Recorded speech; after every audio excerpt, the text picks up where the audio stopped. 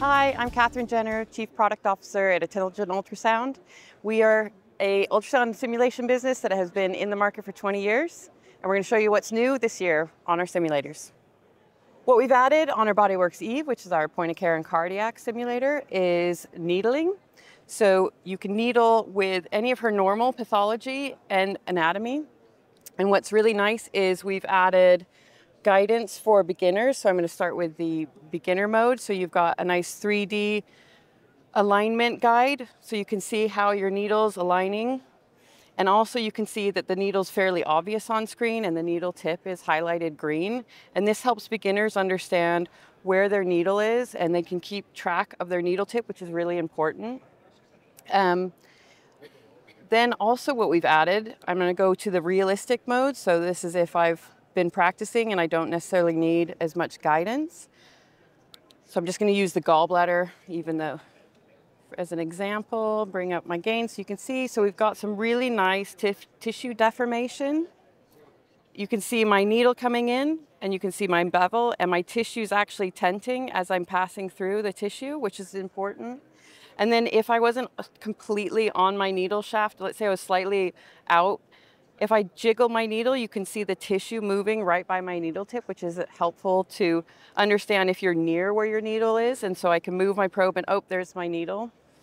Also, the bevel there is acts like a true bevel. So if I put my needle in sideways without the bevel up, I would not see the bevel tip.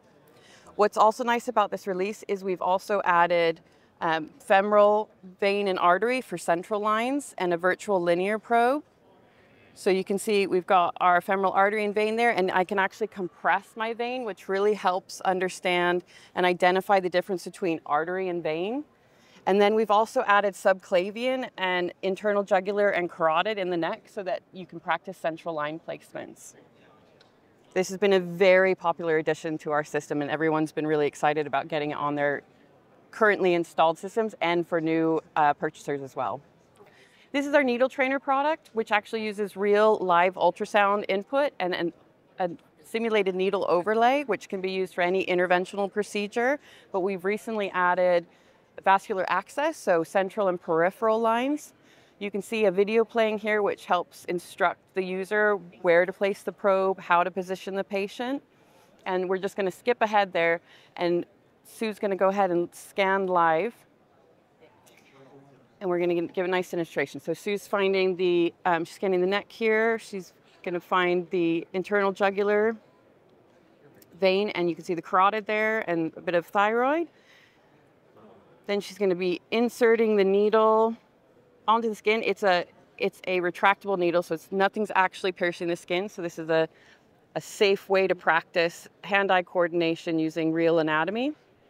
So you could just see a little bit of her tip there of her needle. She's using the out of plane view. So there's her needle in the in the jugular vein there. She's a pro. Obviously, beginners will have the chance to practice this in a safe environment and get their hand-eye coordination skills before they, they go practicing on real patients. So this is a very popular product that we have.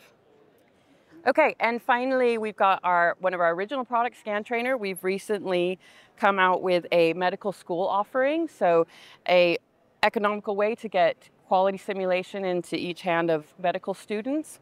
And what our package includes is basic skills, which has um, probe manipulation and ultrasound physics and scanning techniques.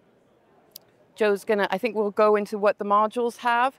So once you've build those foundational skills of orientation and understanding 3D scanning with a 2D display, we're going to learn about the actual anatomy and pathology. So we've got FAST, EFAST, general upper abdominal, and general gynae.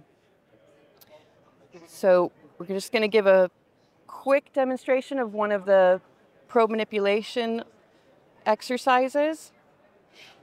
And these were all built. You can see there's lots of exercises there. It runs the student through starting from the very basics that they need to understand about handling a probe, understanding how to move their probe, what they're seeing on screen, and how that is affected by what they're doing with their probe. And then it takes them up, moves them through on their skill on aligning structures, so using your hand-eye coordination to, so what he's doing here is taking this square, you can see up in the right-hand corner, there's a, a cube within the body and his probe is cross-sectioning it with his beam and he's going to line it up with the outline there. And then last but not least, we have added a endometriosis module, which is a collection of cases of endometriosis. Um, we've got 24 cases spanning all the various uh, implantation sites and severity. And this is incredibly important. Endometriosis affects one in 10 women globally, and it takes an average of seven to nine years to get a diagnosis.